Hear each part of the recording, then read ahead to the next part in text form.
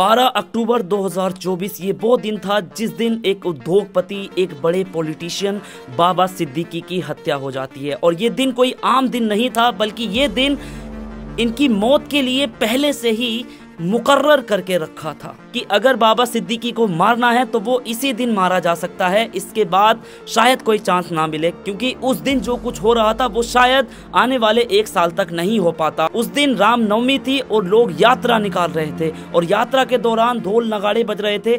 इससे हथियारों को प्रॉफिट ये हुआ कि कितनी ही ज़ोर से फायरिंग क्यों ना कर लें, उनकी आवाज़ कहीं नहीं जाएगी। उसके बाद बाबा सिद्दीकी को बाई सिक्योरिटी मिली हुई थी। वो सारे के सारे सिक्योरिटी गार्ड खुद ब खुद कहीं गायब हो जाते हैं। बहाना करके बाबा सिद्दीकी से दूरी बना लेते हैं। और वहाँ की लाइटें, कैमरे वगैरह सारे के सारे ऑफ़ कर दिए गए थे। इस तरह बाबा सिद्दीकी की मौत को तीन शूटरों ने अंजाम दिया, जिसमें से पहले का नाम शिव था, दूसरे का नाम धर्मराज था, तीसरे व्यक्ति का नाम गुलमेर था, और चौथा व्यक्ति जो इन सबके ऊपर बैठा था, उसका नाम था जिशान अख्तर। और लॉरेंस बिश्नोई इस घटना की ज़िम्मेदारी ले लेता है। इसके बाद देश के बड़े बड़े जो लीडर थे उनमें से कोई भी बोलने के लिए तैयार नहीं था। मानो सबको सांप सूंघ गया था। तब बिहार से एक आवाज़ आती है और वो आवाज़ होती है पप्पू यादव की। पप्पू यादव ने क्या कहा पता है आपको? पप्पू यादव ने अपने सोशल मीडिया प्लेटफॉर्म पर एक पोस्ट लिखी। उस पोस्ट में उन्होंने लिखा कि एक अपराधी जेल में बैठा हुआ चुनौती पे चुनौती दे रहा है और हमारा प्रशासन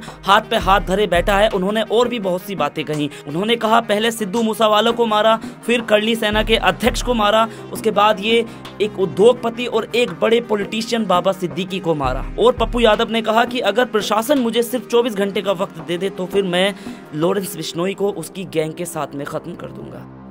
ये बात तो यहाँ तक थी, लेकिन अब सवाल उठता है कि पप्पू यादव ने जो कुछ भी कहा क्या पप्पू यादव के पास में इतनी पावर थी कि पप्पू यादव लॉरेंस बिश्नोई को उसकी गैंग के साथ खत्म कर देंगे? तो एक बात तो मैं जानता हूँ कि बिहार एक ऐसा राज्य है जहाँ के लोग निडर होते हैं और जहाँ पर अगर बात पे बात आ जाए तो हर घर से एक गैंगस्टर निकल कर तैयार हो जाता है। लेकिन यहाँ पर मैं पप्पू यादव की बात कर रहा हूँ, किसी को शायद पता ना हो, लेकिन पप्पू यादव ने सत्रह साल जेल की सजा काटी है। एक मर्डर केस के जुर्म में पप्पू यादव को उम्र कैद की सजा सुनाई गई थी। उसके बाद उच्च न्यायालय ने इनको बरी कर दिया क्योंकि सबूतों का अभाव पड़ गया। और यही नहीं, पप्पू यादव के खिलाफ आर्म एक्ट के मुकदमे भी दर्ज हो चुके हैं। और यहाँ भी बताया जाता है कि पप्पू यादव के तार कहीं ना कहीं नेक्सलाइट से भी जुड़े हुए थे। ये तो सिर्फ़ वो चीज़ें हैं जो लोगों के सामने है, लेकिन बहुत सी चीज़ें ऐसी हैं जो लोग पप्पू यादव के बारे में नहीं जानते। पप्पू यादव छह बार के निर्दलीय सांसद रह चुके हैं। निर्दलीय बिना किसी पार्टी के अपने सपोर्ट पे वो व्यक्ति चुनाव लड़ता है। तो क्या आपको लगता है कि कोई इतना भारी भरकम आदमी इतनी हल्की बात कह सकता है?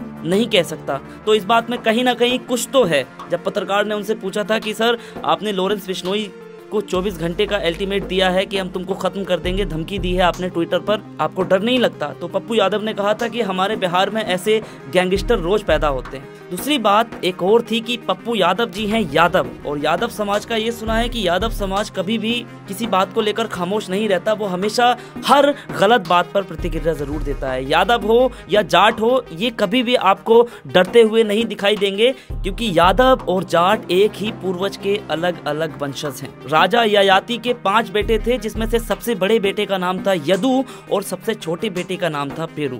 जो सबसे बड़ा बेटा था, उनके जो वंशज थे, वो बने यदुवंशी यानी कि यादव, और जो सबसे छोटा बेटा था, वो बने पेरूरबा यानी कि जाट। तभी आपने देखा होगा कि जाटों में और यादव में हमेशा समानताएँ रहती हैं, और समानताएँ ये हैं कि ये लोग किसी से नहीं डरते।